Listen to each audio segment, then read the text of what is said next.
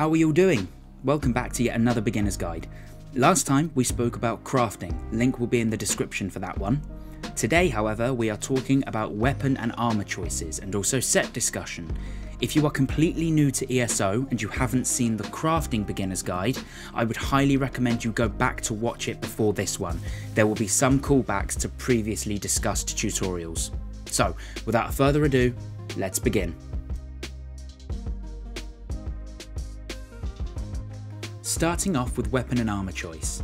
Just to recap what weapons and armour are available to the player, you have the following. Heavy armour, along with swords, daggers, axes, maces, great swords, battle axes and mauls will all be found within the blacksmithing station. Medium and light armour will be found within the clothing station. Lastly, bows, shields, fire, lightning, frost and restoration staffs will be found within the woodworking station. So the question is, what armour do you use and what weapon type do you use? So this all comes down to your role. Again, just to recap, that will either be a magicka damage dealer, stamina damage dealer, healer or a tank. This choice will determine the answer to that question. If you prefer using Magicka to do damage or heal, you're going to need to look at light armour. The weapon choice does differ between the two.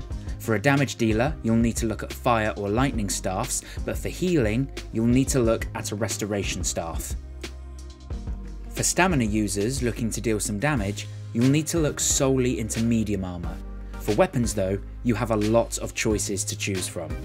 Dual wielding swords, daggers, axes and maces or two-handing a greatsword, maul or battle axe, and lastly, the choice of using a bow.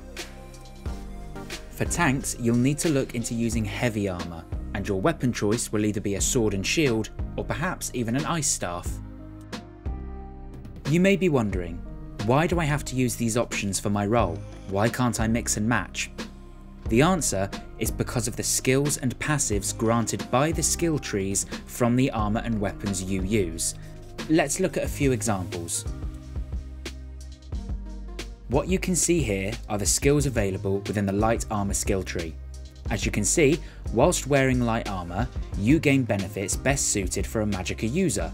A good example would be evocation, increasing your magicka recovery and reducing the cost of your magicka abilities by a certain percent and increasing for each piece of light armour worn. All the armour skill trees are just like this.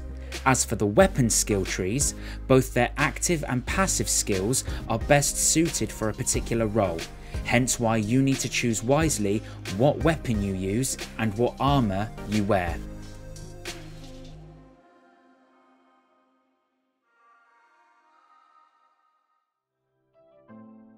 Now we move on to weapon and armour sets.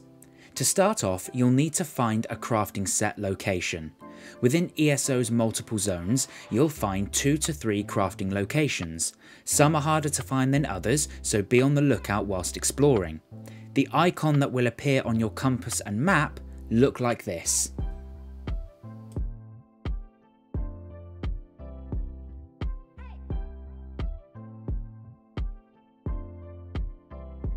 The locations are themed around the zone you're in. The crafting locations will contain the same things no matter where you are in Tamriel. Within a crafting location, you will find one of every crafting station. That's because at these locations, you'll be able to craft a set of armour and weaponry that give you powerful bonuses.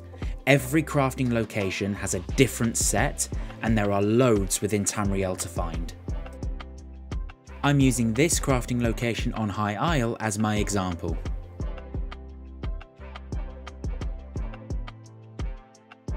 When you use any of the crafting stations, you'll notice that more things have been added to the screen. To start, you'll notice the new window that's opened over your character. This window showcases the set you're about to craft.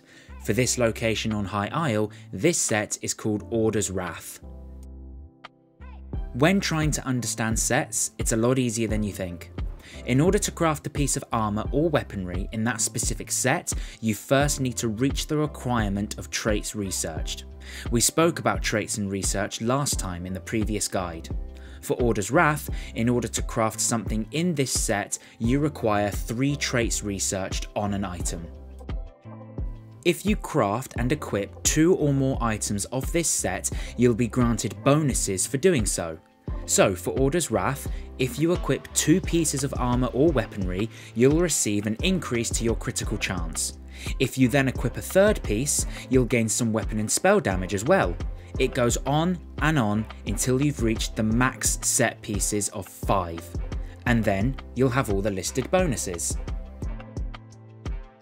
So how does this link to your role within ESO? It links because there are multiple different sets available to craft, each with differing total researched trait requirements. However, the point is, some sets will be better for a tank, some for a healer, and others for damage dealers. Order's Wrath, for example, is best suited for a damage dealer. So that ends this beginner's guide all about weapon and armour choice along with crafting sets for your character. I hope you enjoyed and found this useful. If so, then leave a like and subscribe. If you have any questions, then let me know in the comments below. I'll see you all next time when I'll be discussing what you can do in Tamriel. What is there to see and do? Take care.